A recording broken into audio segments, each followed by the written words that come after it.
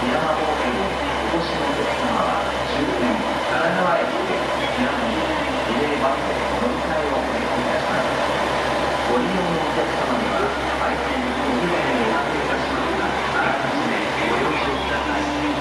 ケアマ線ご利用のお客様のお待たせいたします今日も JR 西日本をご利用いた。だきましてありがとうございます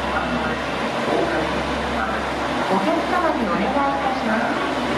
スマートフォンや携帯電話を操作しながらの通行は危険ですのでおやめください。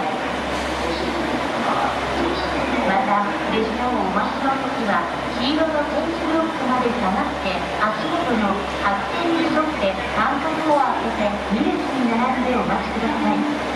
点字ブロックは目の不自由なお客様の大切な道しるべです点字ブロックの周りは広く開けていただき荷物などは置かないようにお願いいたします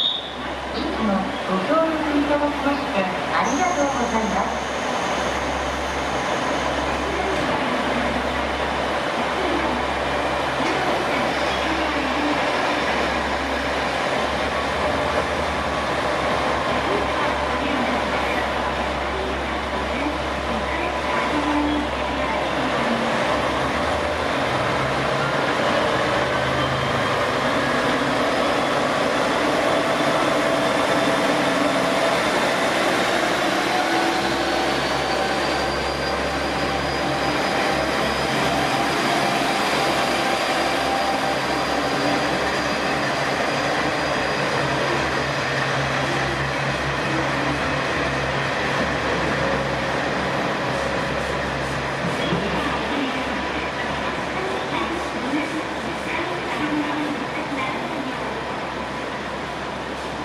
次に10番乗り場に参ります列車は当駅止まりです。お乗りにならないようにお願いします。